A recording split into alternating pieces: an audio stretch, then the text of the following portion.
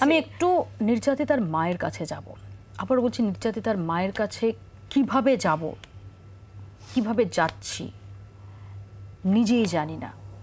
কারণ গত দশ বছরে যতবার তার মুখোমুখি আমরা হয়েছি, কখনো তার চোখ আমি শুকনো দেখিনি। দশ বছরে তার চোখের জল শুকোয়নি।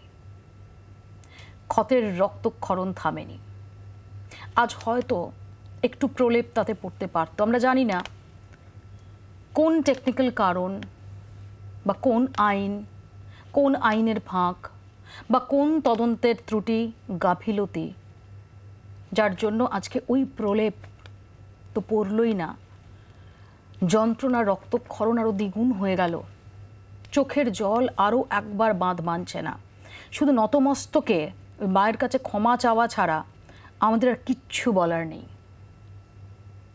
আজকে কি আশা করে যখন কোর্টে এসেছিলেন, আশা করে এসেছিলেন যে আজকে অন্তত মেয়ে বিচার পাবে এত বছর পর? সুবিচার পাইনি। সুবিচার কি পেলাম? সব খালাসি হয়ে গেল। এতে কি সুবিচার আমরা পেয়েছি? দিল্লির যে ঘটনাটা হয়েছিল, তারা কি করে রায়টা পেল ফাঁসির রায়? আর আমরা সেই রায়টা তো পেলাম না। ওই ঘটনা তো আমাদেরও ঘটনা। ওদের মনে হয় লাস্টে ঘটনা হয়েছিল আমাদের মনে হয় আগে ঘটনা হয়েছিল। আগে ছ মাস আগেও দিল্লির ঘটনা ঘটেছিল। দিল্লিটা আগে তা তা তা ওদের যাতে ফাঁসি হতে পারে তা আমাদের কেন ফাঁসি হবে না? যে দশ বছর ধরে লড়াইটা করছেন বিচারের অপেক্ষা করছেন আমি প্রথম আপনার বাড়িতে গিয়ে যখন আপনাকে দেখেছিলাম আপনার তখন ওঠার ক্ষমতা ছিল না। আপনি দিনের পর দিন আমরা জানি মুখে একটা কণা দানা দেখুন আপনার মুখে কেউ ঢোকাতে পারে মেয়ের মা হ্যাঁ সবাই মেয়ে মেয়ে মা সবাই হতে পারে। একটা বাচ্চা ছোট থেকে মানুষ করতে গেলে কত কষ্ট হয়? তার পেচ্ছাপ থেকে পায়খানা থেকে পরিষ্কার করা শুরু থেকে তার ছোট থেকে মানুষ করা থেকে কত কষ্ট হয় মাদের? বাবারা কটুকুনি মা ইয়ে করে। সব তো মায়েদেরই তো কষ্ট না? বাচ্চা মানুষ করা। আর সেই বাচ্চা যদি রাক্ষসটা যদি খেয়ে নেয়, সে যদি অ্যাক্সিডেন্টে মারা যেত কিংবা কোনো রোগ ব্যাধি দিয়ে মারা যেত, মনে পাশান দেওয়া যেত, না বাচ্চাটার শরীর খারাপ, সে রোগে মারা গেছে, তা কী করব। আর মানুষ হয়ে মানুষের খেয়ে নেওয়া, সে যন্ত্রণাটা কেমন মাদের? বুকের ভেতরে হয়।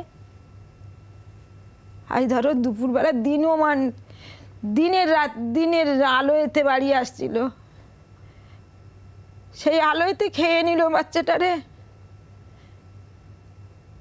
সেকেন্ড ইয়ারে পড়ছিল মানে কি, আর একটা বছর পড়লি বিয়ে কমপ্লিট কষ্ট করে তো মানুষ করেছি, লেখাপড়া, খরচা প্রাইভেট মাস্টার সব কিছু খাতা পেন বই কিছু সব কিছু তার পেছনে কষ্ট করেই মানুষ করছি। তাকে যদি ওই রকম করে কষ্ট দিয়ে যদি মেরে ফেরা হয় তা মার মা থাকে মার জীবনটা কি হয়? মেয়ে তো খুব আদরের ছিল। মেয়ে গায়ে একটা আঁচড় লাগলে সেটা আপনি বলেছিলেন আপনি সহ্য করতে পারতেন না। আর তার উপরে এত নির্মম অত্যাচার চলল এত নির্যাতন চলল। কত কষ্টে তার জীবনটা গেছে। এর বিচারটা কি পেলাম ভালো? সুবিচার পেলাম?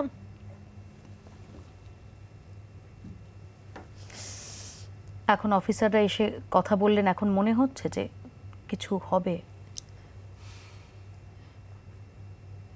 এত কিছু হয়ে কোনো কিছুই তো, ধরো ওর ওই কেস দিয়ে সব ডাক্তার তো সব দেখেছে না পোস্টমার্টার সব তো দেখেছে।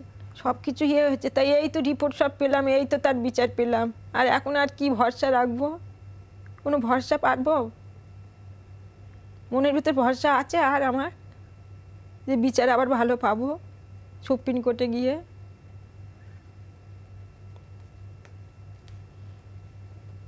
তবুও লড়বেন। তাও তো লড়বো। যাতে না ওরা বার হতে পারে। আর কোনো মায়ের যেন এরকম কোল না খালি হয়। আমার কোল খালি হয়েছে সব কোনো মায়ের যেন এরকম কোল না খালি হয়। আপনি মেয়েকে হারানোর পর ওই গ্রামে আপনি থাকতে পারেন না। ওই গ্রামের কথা শুনলে আপনার বুক হাহাকার করে। হ্যাঁ। আপনি ওই গ্রাম মুখ হতে পারেন না। আপনার বাড়ি ঘর ছেড়ে আপনি অন্য জায়গায় হ্যাঁ। চলে গেছেন। অথচ আজকে দশ বছর পর আজকে যে রায় হয়েছে যারা অপরাধী তারা মুক্ত হয়ে ওই গ্রামে ফিরবে। এই ভাবনাটাই কি আপনাকে এই মুহূর্তে সবচেয়ে যন্ত্রণা দিচ্ছে? যন্ত্রণা দিচ্ছে এবার ওই গ্রাম তো হতাশ হয়ে গেছে যে একটা বাচ্চা যদি যায় ওরকম টুন টিনকাটি মারবে। একটা যদি কোনো বিপদ হয়, বলবে কি, আমাদের পাড়াগার কি বলে? ওই ওই মেয়েটারও ওইরকম হয়েছে বলে, ও ছাড়া পড়েছে বলে, এই আমাদেরও এইটা হয়েছে। এই আমার আমার নামেই সব বদনাম হবে। পাড়াগায় এরকমই হয়। ওদের জন্য এরকম হয়েছে। ওদের এই কেসটা সব সব ছাড়া পড়েছে না, ওই জন্য এই কেসটা হয়েছে। বাংলার আওয়াজ, বাঙালির আবেগ। জি, চব্বিশ ঘণ্টা।